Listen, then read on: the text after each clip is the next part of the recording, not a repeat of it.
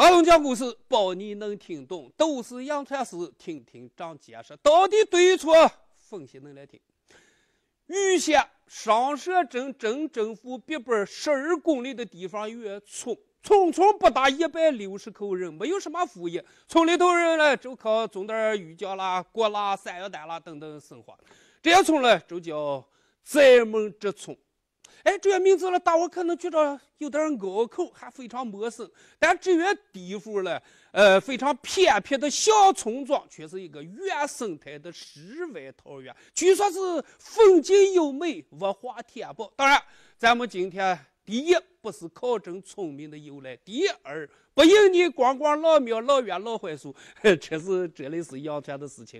今天呢，咱们给大伙说道说道，在门这村有一个古庙，它叫青石寺，也叫石觉寺。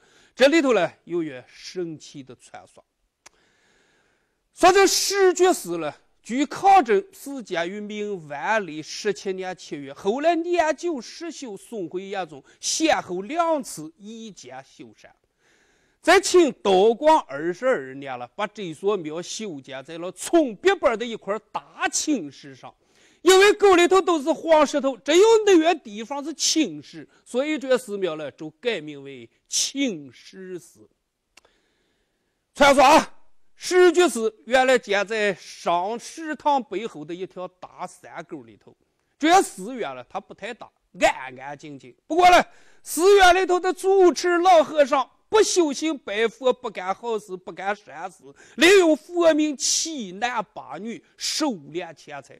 周围这老百姓实在看不下去了，就把这个老和尚呢就给撵上走了，把这庙堂呢就烧了，把这寺庙整个除掉了。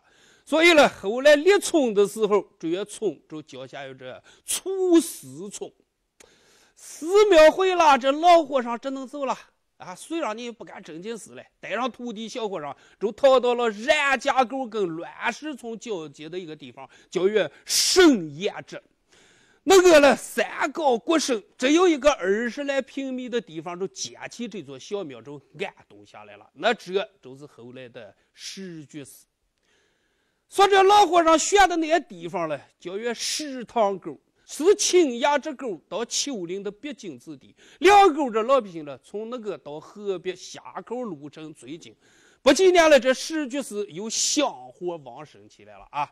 看来这老和尚呢，还是有点头脑，哎，盼着他改邪归正吧。不过，说当时。庙里头养了一头毛驴，这小和尚每天就喂驴，就得到这周围割草个。不过这地方是咋了？是菜多草少，小和尚每天割草了都要走很远很远的地方。那么这一天，小和尚就来了冉家沟大寨沟的梁梁上，哎，就了解东边这芦芽沟里头有一片这芦苇啊，长得是浓乎松松，是绿莹莹。他就急忙跑到这沟里头，很快就把那一片芦苇就割下一片，哎，这捆好翻到庙里头。正好呢，这驴呢正好够吃一天。第二天，小和尚又去割草，哎，这没有其他地方没有草呀，他就又到了这山上，就望了望，哎，一来割了芦苇的这些地方，又是绿乎松松的、绿莹莹的这么一片，他非常高兴，就跑下去又割了这么一捆。这时候呢，这小和尚这天天来割。这芦苇了也是怪，天天长，它也不多长，也不少长，就长了就被割了的那一块块。这小和尚是非常高兴，你看这又省事，又能早点干完活，还能捎带上这地方耍耍，他说山清水秀呀。再说了，寺里头这老和尚看见徒弟每天割回来的草都一号，全是芦苇，而且孔孔大小都差不多，他就奇了怪了。晚上了，就问起这小和尚割草的这事儿。小和尚了之后不敢隐瞒，如实相告。老和尚反复思慕，就感到这事情了蹊跷。想了好几天，他终于想明白了。说这一天天还没有亮了，他就叫起这小和尚带来这掘根铁钿，到这长芦苇的地方，让这小和尚割了芦苇，他自己就拿掘了，就刨着土。用铁钳往底下挖，挖了大概三四尺来深了，就给挖出一个细脸盆了。再看看这细脸盆啊，它不大不小，黑不溜秋，既不像铜，也不是铁。这老和尚不敢怠慢，马上来就有一块红布把这些洗脸盆来包住，哎，就揣到这怀里头，不回了石居寺。寺里头呢养了一只这大黄狗，这老和尚呢就用这盆呢就给喂狗。然后这奇怪的事就出现了，盆里头的饭狗天天吃，它就是吃不完。那么这一天，这狗呢？惹这老和尚给动了气了，老和尚就脱下一只鞋来，啊，就打这狗，一失手了，就把这鞋就给埋到这狗这盆盆里头了。老和尚这伸手取这鞋，取出一只来，哎，这盆里头还有一只，取出一只来，哎，怎么还有一只？结果呢，就取出来一大堆鞋，不过这一大堆鞋啊，都是右脚的，因为左脚鞋没有满进，不是？盆里头的鞋还是咋取也取不完。从此以后呢。有了这个盆，这老和尚就发了大财了啊！发了财以后呢，这老和尚这臭毛病七男八女哈，这臭毛病就又来了。时间长了以后，这官府就知道了老和尚这坏事了，官兵们就前来捉拿这个老和尚。老和尚听说官兵来了，带上小和尚，补上那盆，就往这双个肚尖那个地方了，就跑了。走到半坡里头，怀里头盆子越来越重，越来越重。这老和尚都步不动了，就把这盆呢就放下来。哎，放下了就怕这官兵给抢上走了。就在这个呢，一根这小菜树底下就没了。这小和尚就说：“师傅，你看这满山个都都是菜树，咱以后找不见这盆到咋样？”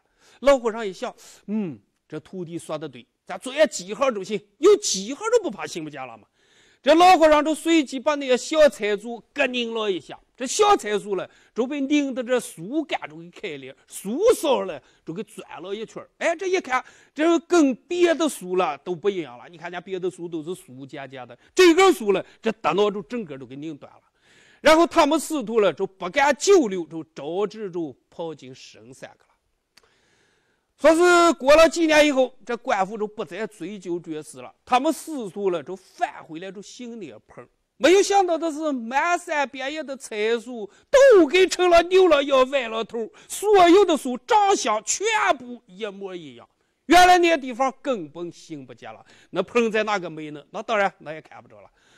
做了坏事的那个老和尚是又气又急，不久了就给气死了。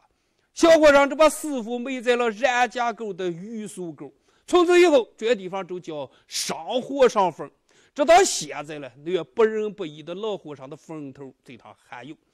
圣严这石居寺的小庙没有了，不过呢，还能看见一些瓦片片，还有一个十年盘了，就给留下了，留下所有的证据。小和尚后来呢，就来到这在蒙之村的青石寺里头当了住持。